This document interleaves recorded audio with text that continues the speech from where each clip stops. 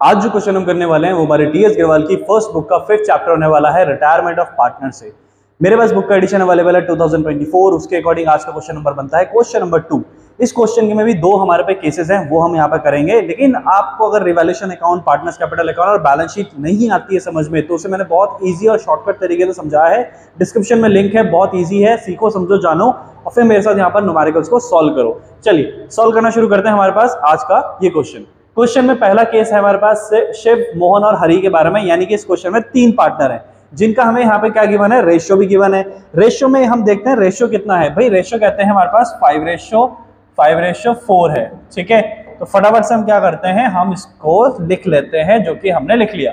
इसके बाद कहते हैं, मोहन इसमें से रिटायरमेंट ले रहा है। मोहन कौन है भाई? सेकंड वाला पर्सन है। सेकंड वाला पार्टनर क्या हुआ? कंपनी से चला गया।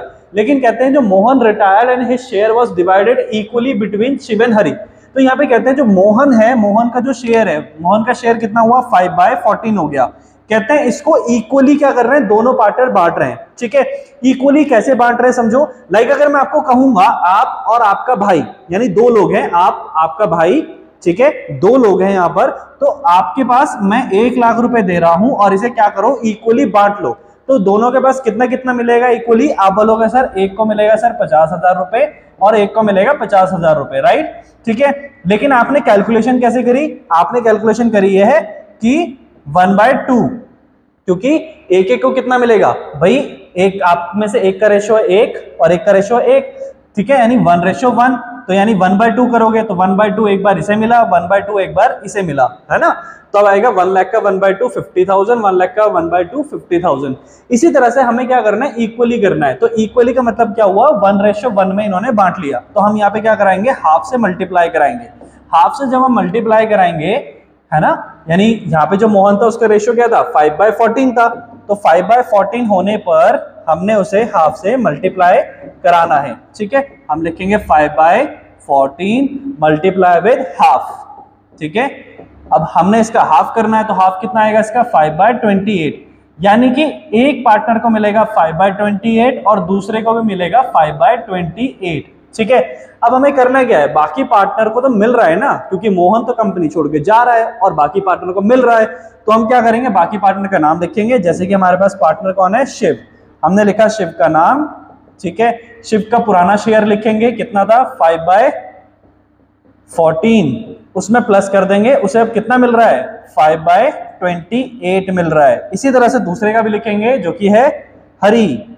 हरी का जो शेयर है, पहले कितना था? Four four by fourteen. अब क्या करेंगे? उसे कितना मिल रहा है? Five by twenty eight. दोनों को सॉल्व करेंगे, दोनों के लिए एल्सियम निकालेंगे, जो कि कॉमन आ जाएगा कितना? Twenty eight. फोर्टीन के टेबल में ट्वेंटी एट कितने टाइम्स आता है? टू टाइम्स उस टू टाइम्स की मल्टीप्लाई करो फाइव से। कितना आएगा?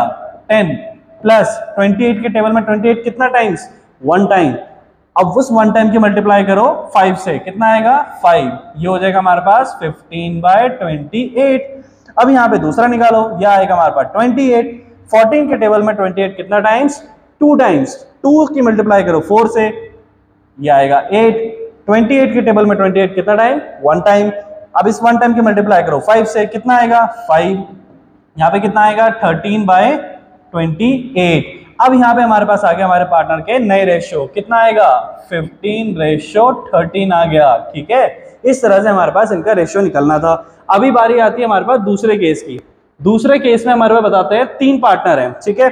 हमारे पास तीन पार्टनर हैं तो फटाफट से इनको भी देखते हैं कि ये पार्टनर क्या कर रहे हैं, ठीक है? ये पार्टनर्स के लिए हमें कहा जा रहा है कि ये पार्टनर तीन पार्टनर है, जो कि है पी क्यू आर इसके, इनमें रेशो है five ratio four ratio one और इसमें से जो रिटायरमेंट लेके जा रहा है, वो जा रहा है हमारा पहला पार्टनर पी अब उसके बाद कोई इन्फॉर्मेशन नहीं है। जब हमें क्वेश्चन में सिर्फ़ इतना बताया गया हो कि हमारे पार्टनर्स हैं, इनका रेशियो ये है और एक पार्टनर जा रहा है।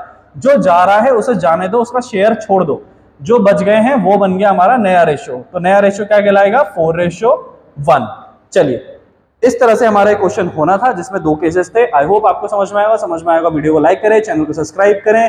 चैनल की प्लेलिस्ट में जाएँगे तो टी एस गिरवाल एनसीईआरटी और डीके गोयल के सॉल्यूशन आपको ऑलरेडी अपलोडेड मिलेंगे चैप्टर वाइज चलिए होप करता हूँ समझ में आएगा अब मिलेंगे हम आपको नेक्स्ट वीडियो में।